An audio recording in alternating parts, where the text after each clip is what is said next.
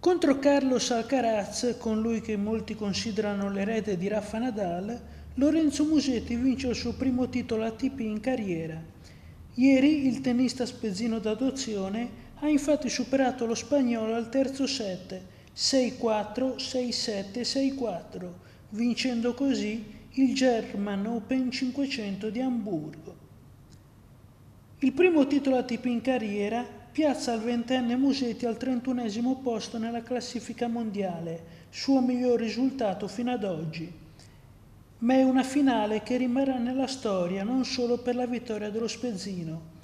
È stata infatti la più giovane finale nella storia degli ATP 500, categoria nata nel 2009, e la più giovane finale dal 2005, quando i diciannovenni Rafa Nadal e Thomas Berdych disputarono l'atto conclusivo di un torneo in Svezia.